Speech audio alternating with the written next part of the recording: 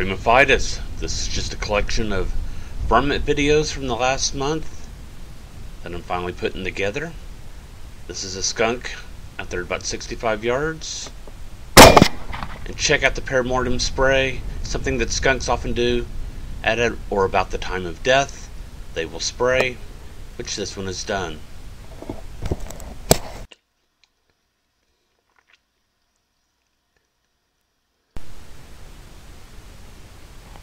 On a much clearer night.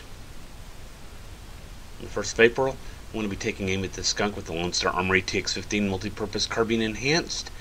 And for these skunks, I'm going to be shooting Remington Core-Lokt 120 grain bullets loaded by Druid Hill Armory and the Starline brass that my buddy Dinny has provided for me.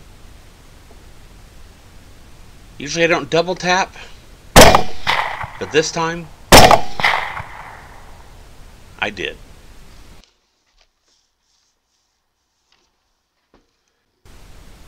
And here we have another skunk on the same night.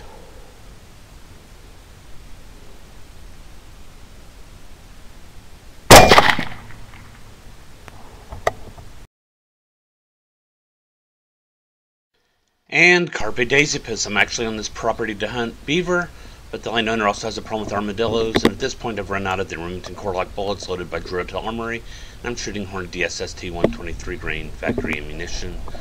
Got an armadillo out there about 85 yards.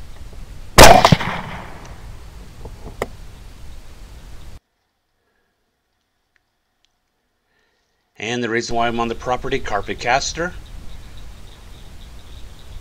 Only saw one beaver this evening.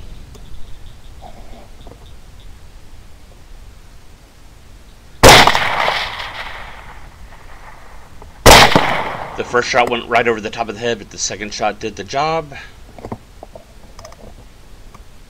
Got a body. There we go.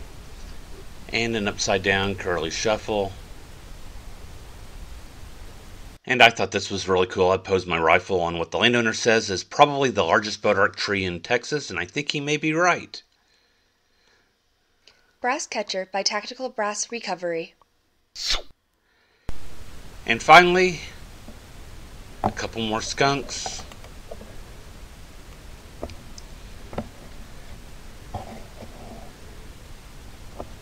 Trying to figure out which one I want to take first. I'm going to go ahead and take the closer one first. Probably not the best decision, but it's how it worked out. That skunk's down. The second skunk does not react, fortunately.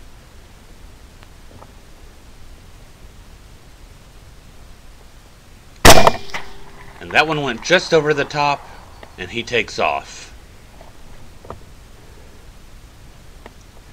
Now, I've tried shooting skunks on the run before. They are a challenging target. I'm going to wait for him to slow down.